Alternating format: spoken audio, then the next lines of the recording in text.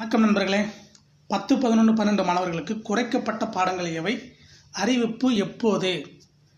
வாங்க பார்க்கலாம். வருகிற பத்தொன்பதாம் தேதி முதல் வகுப்புகள் தொடங்க இருக்கும் நிலையில் நடப்பு கல்வியாண்டில் ஆன்லைன் மூலமாக முழு பாடங்களையும் நடத்தி முடிக்க முடியாத காரணத்தினால் பாடங்கள் எதுவும் குறைக்கப்படுமா என்று கேள்வி எழுந்தது. அதன்படி கல்வித்துறையும் ஒன்பதாம் வகுப்பு வரையில் உள்ள வகுப்புகளுக்கு ஐம்பது சதவீதம் பாடங்கள் குறைக்கப்பட்டுள்ளன என்றும் பத்து பதினொன்று பன்னெண்டாம் வகுப்பு மாணவர்களுக்கு மற்ற மாநில மாணவர்களுடன் போட்டி போட வேண்டும் என்ற அடிப்படையில் முப்பத்தைந்து சதவீதம் பாடங்கள் குறைக்கப்படும் என்றும் அறிவித்தது.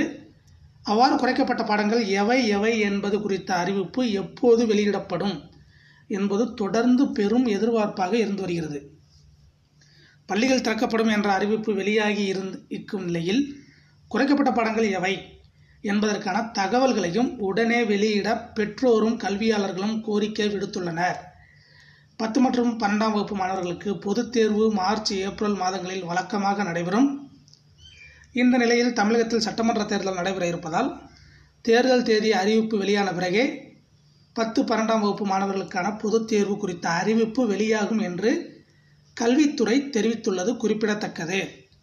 இது போன்ற வீடியோக்களை பெற நம்ம சேனலை சப்ஸ்கிரைப் பண்ணுங்கள் வீடியோ பிடிச்சிருந்தா ஷேர் பண்ணுங்கள் லைக் பண்ணுங்கள் கமெண்ட் பண்ணுங்கள் தொடர்ந்து பெற நோட்டிஃபிகேஷன் பட்டனில் ஆளாக கிளிக் பண்ணுங்கள் நன்றி.